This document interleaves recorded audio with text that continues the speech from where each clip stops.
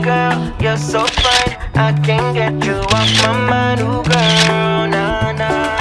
Ooh, girl, nah, nah. At this time, I'm going to ask that you fasten your seatbelts. We'll be experiencing some turbulence.